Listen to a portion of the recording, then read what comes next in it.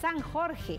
En alerta naranja, Zacapa, Estanzuela, Río Hondo, Gualán, Teculután, Cabañas y La Unión. Alerta amarilla en el departamento de Zacapa están Usumatlán, San Diego y Huité. Vamos ahora a presentarle eh, la condición en el departamento de Chiquimula. En alerta naranja, San Juan Lermita, San Jacinto e Ipala. En alerta amarilla, Chiquimula, San José La Arada, Jocotán, Camotán, Olopa, Esquipulas, Concepción, Las Minas y Quetzaltepeque.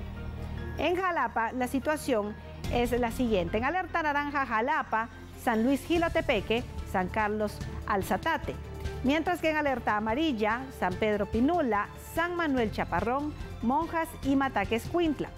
Mientras en el departamento de Jutiapa la situación es en alerta roja, Santa Catarina Mita, Quesada, en alerta naranja Jutiapa, Asunción Mita y Yupiltepeque.